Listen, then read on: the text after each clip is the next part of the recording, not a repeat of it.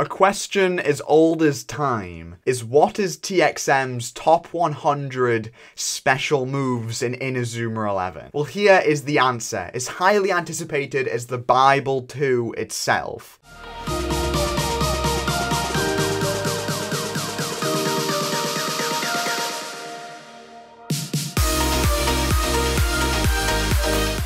If you're watching this, you know what an Inazuma 11 special move is, more than likely. It's the big flashy moves they do um, to, to, to, do the thing in the football. You know what one is. You know what top 100 is. We're counting down my 100 favorites.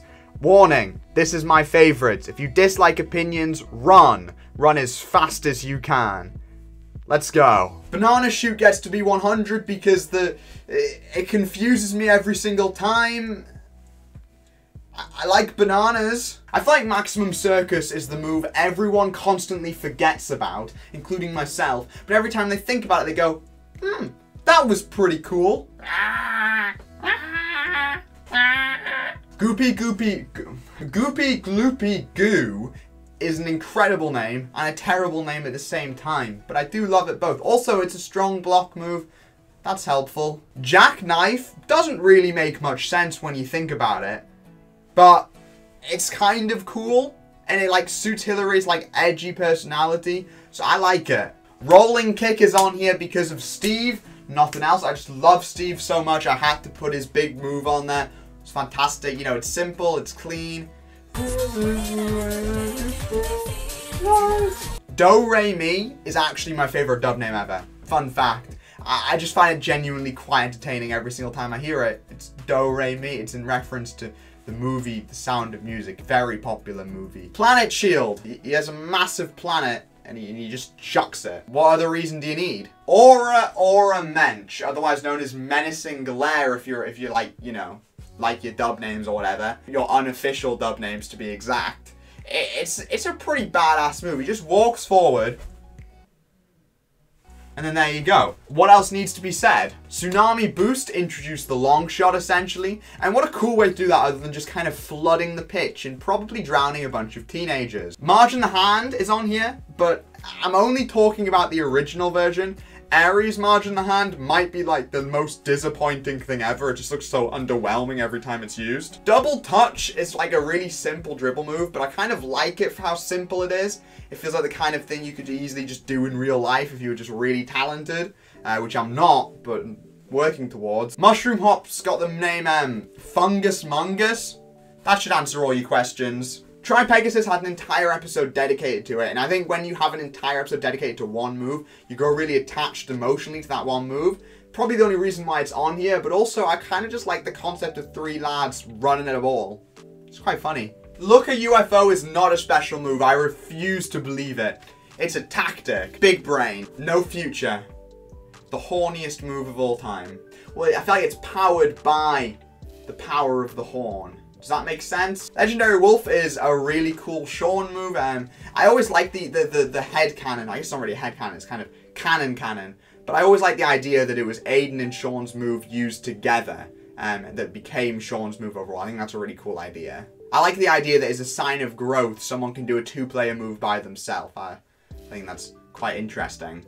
Defense Equation is Zippy Learner's move, the ultimate pusher and glass. I think he literally does push his glasses up as he uses it, which just screams badass. Zippy Lerner is definitely a Rick and Morty fan. Death Zone 2 is another one of those moves. There's an entire episode dedicated to it, and such. I have an emotional attachment to, to it due to the fact that there is this massive time spent on it and it makes the actual use of the move a lot more rewarding. A brutal header. Procyon Net's really cool. I think Nero's a really cool goalkeeper. This idea of the best goalkeeper in Room 2 just being this little tiny lad I just find that really funny. I think Procyon Net is, I think, definitely a very exciting, interesting, cool move. How many times am I going to say cool this video? The race is on. Another cool goalkeeping move. Shout out to Sam Gughan for capable hands. It's like God Hand 2, but red.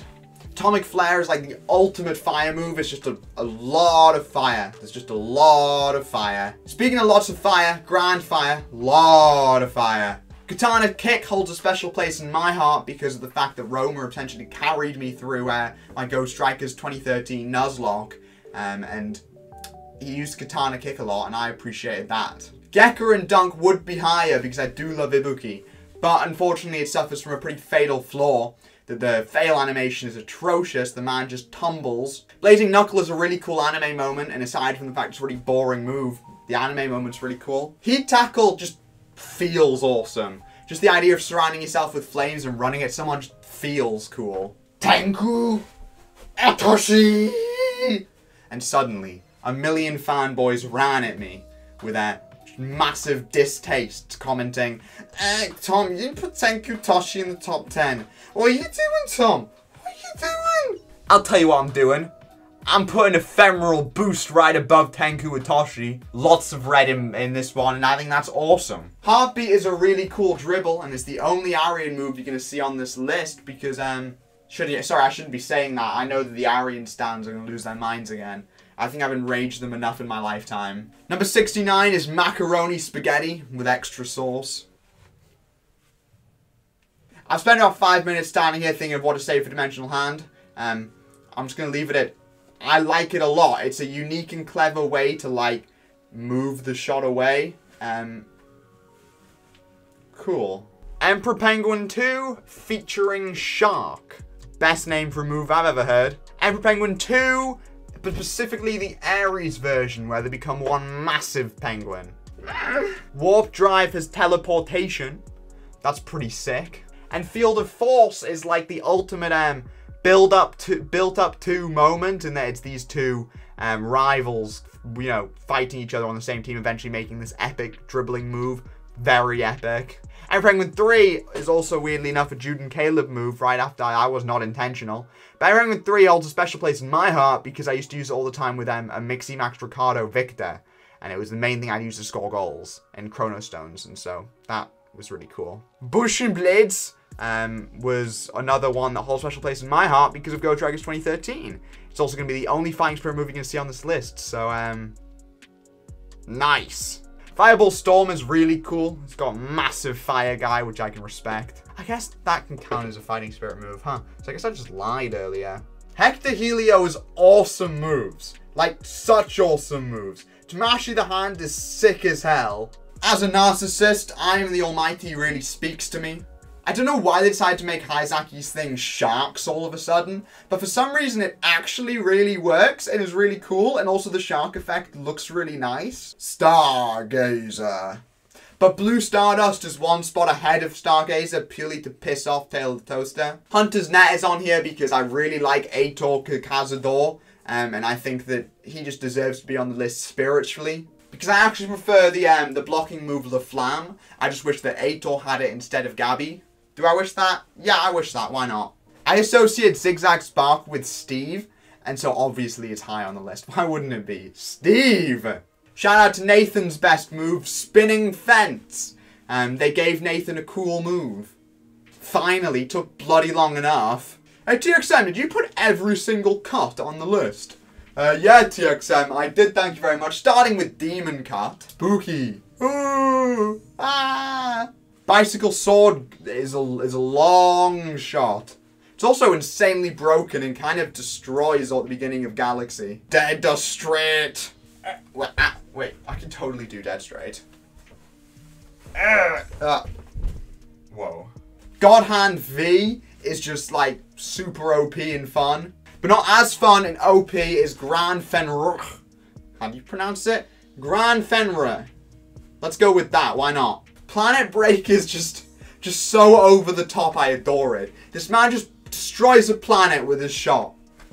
As you do. The alias moves are just kind of really nice. And I feel like I've, I've played Inazuma 11 2 so much the point where I feel like I've seen them so much they just ingrained themselves into my head as stuff I like. For instance, Wormhole and Meteor Shower. Sticking that in Inazuma 11 2 realm. Sigma Zone I always thought was a really, really cool one. And then hopping all the way over to Galaxy with Wild Dunk, called Blam Dunk in English, but we ignore that and we just move on with our lives. Shinkuma belongs to my one of my all-time favorite Inazuma 11 characters, Archer Hawkins, so of course I have to include it. Fun fact, first ever Inazuma 11 OC I made um, had Shinkuma. Fun fact. Odin's Sword may feel out of place on an Italian team, but I think it's still just a really cool move on its own. Obviously, God knows has the angel motif going for it, and it also just strikes fear upon the hearts of anyone who's watched the English dub. I'm only just because Aphrodite's voice in the English dub is just quite entertaining, to be honest. It just feels like really high-pitched high pitched squealing. You're about to experience the wrath of a god! Northern Impact is my personal favourite of the two Alias um, Elementers, shooters, moves. And no, Fire Blizzard isn't on here. I hate Fire Blizzard. That's um, my thing that's going to get me cancelled, I'm assuming. Reverse World is a really cool goal kicking move. I, I love black and white. I'm a sucker for everything black and white. So the second the world becomes black and white, I'm in. As a massive Strictly Come Dancing fan, I can respect this one. Zigzag Strike is another really cool Xavier Schiller Ares move because he just glows up and he just goes and that's awesome. And Excalibur, well, I'm British. That should answer your questions. Innocent Drive is Froy's move that I've never actually seen him use. I haven't watched Orion much, but um, I think it's awesome. And Southern Cross is my second favourite in Inazuma 11 dribble with Cross in the name. Fujin Raijin um, is one, of my all-time favourite anime moments, which is Victory Line being used against Fujin Raijin, except Victory Line I think is kind of dumb, but I love Fujin Raijin. It's like if um, Mark Evans just had two the hands, and I think that's a really cool concept.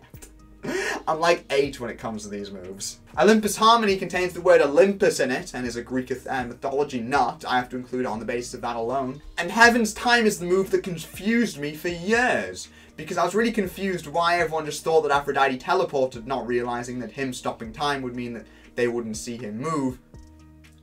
I was a stupid kid, I'm sorry. Another move that confused me, the explosion is used as a dribble in Orion for some reason at one point, and like, I can't wrap my head around that one. Black Dawn is a move I attempted in real life, and I think pulled off. My memory on that might be wrong, but um, it's also a move containing Mad Taggy, and so I have to include it on that basis alone. Scream of Eden is an awesome two-player move. It's just fun to slap on anyone in Galaxy, to be honest. Just aggressive shouting. I can appreciate that. Ute no Tat, or however you pronounce it, is um, the shield move used by Nishikagi that I really enjoy. Um, just this idea of just a pure shield being used. Well, I mean, it just makes sense, doesn't it? Kazanrai! Kazanrai! Hector Helio's moves just have a really nice shade of colour to them. X-Blast gets to be this high because I just like the shade of colour. And we're back standing up because Spinning Cut is next. And as I said, I'm including every cut, so shout out to Spinning Cut. Meteor Blade is the kind of move that I'd want to use just if I was in the Inazuma universe. The idea of this big space shot that we can just fire off into anything, and like, knowing me, I'd miss it every time, but it would still just look really cool. Like one of my partners could come up and just like kick it into, yeah, I, I think that'd be sick as hell. Thundertaker Oh! Thundertaker's awesome, and I think this clip of me watching it is really all I need to say. My balls are sweating.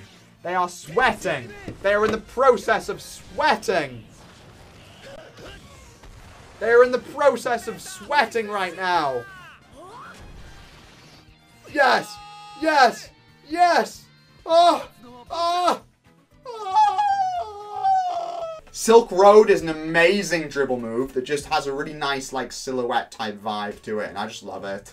Shout out to Eric Eagle, who is Flame Dance. I love fire moves, if you can't tell, um, and the idea of someone just dancing fire is just awesome. I just love it. Song of the Three Kingdoms, because if TXM didn't include a reference to Liu Bei in his 11 video, then is he really being TXM? Hey TXM, do you love fire moves? Yeah, I do, thanks TXM. Hey TXM, do you love the move called Maximum Fire? Yeah, I do, thanks TXM. And then last resort, because I'm an 8-year-old inside, and I love cool things. Footwork Draw is appealing to me because I really like the simple defensive moves. So the fact it's just do, do, do, do, hoo, hoo, hoo. And I like the way it, you know, takes influence from boxing in particular. Really adore it. Britannia Cross is my favourite dribble move with Cross in the name. Penguin the God and Devil is a beautiful mix between uh, Haizaki and the other guy, Xavier Kira Hiroto, Xavier Schiller, whatever his name is. Um, it's the best penguin move by a mile. I mean, just look at the colours.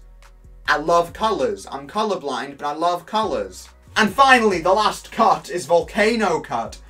Fire. Blocking. Hmm, it looks like it's a TXM pick. Chrysanthemum Katana is on the list because if TXM didn't go through a video without referencing Okita, then he's doing something wrong with his life. Gungnir is an awesome move. The man just goes and it becomes like a cross and everything. Bro. Bro. Einsatz is probably just this high because of my like sheer just memory of it, of just using it so many times playing Galaxy. At this point, it's just ingrained in me, and it's like like a reflex of just clicking Einsatz on Ricardo. Cosmic Blaster. Yes, please. As an inner eight-year-old, this is the coolest move ever. I mean, just the just the genuine effect of just the big black circle with like the different colors. And finally, finishing off our Hector Helio trilogy is God Hand X. It's a red God Hand with an X in front of it, and made me feel like I'm really funny every time I come up with God Hand T, God Hand A, or God Hand C. God Hand D, he uses his dick. Rising Slash is my favorite goalkeeping move of all time. I just don't ask me why, just really, really, really love it. The way he just slashes upwards, I think that's just amazing. Trace Press probably doesn't deserve to be this high. Trace Press is the kind of move where if, if I'm asked, Tom, what moves would you like to do for Zoom 11? It's just this. It's just a simple copying the opponent's attacks and then going, Whoo! and then doing it. I adore it. I just think it's so simple and nice and I love it. Meanwhile, on the complete other end of the spectrum is Final Death Zone a huge jump into the sky, out of into space. Spinning Death Zone. OMG. Number two is probably going to rustle some feathers, but it is Jibarashi Ken. I don't actually remember what it's called in English, to be honest. But this move is about as simple as you can get. Fire on the foot, spin around, steal the ball. But for some reason, something about how it looks and how it's done is so visually appealing to me. It's like watching like kittens. I just adore it all so much. I know it's not a good move, I know it's not like a particularly over the top extreme move, but for some reason, it just works on every single level for me. Combines my favorite things in Zoom 11. Fire moves, blocking moves, simple moves, into one beautiful package. But, it is lacking the emotional attachment of number one. If you've been watching my content for a while, this should come as no surprise. But number one is Prime Legend, the Axel and Jude move. Prime Legend works for me because of multiple reasons. First of all, I think it's just an awesome move. It's just blue and sparkly and glistening and I love it. Secondly, um, the way it's used in the movie combined with the soundtrack just does things to me and gives me chills every single time. I love the spinning as well. And finally, it has a lot of emotional attachment to me because of a running joke in Ninja 11 3 Randomizer Let's Play, where I was so set on getting a Prime Legend move manual the second I found out that the, the game sold like move random move manuals. All I wanted was this Prime Legend one. And after so many episodes of saying that I wanted it, I eventually got it. And it was the highlight of that entire series for me. So that has definitely propelled it up for me. Now it's just unshakable. It is my favorite move of all time. And that is the list. Thank you guys so much for watching. Uh, I'll see you guys in the next video. Make sure you like, comment, and subscribe, and tell me how wrong I am down in the comments below. See you guys next time. Bye.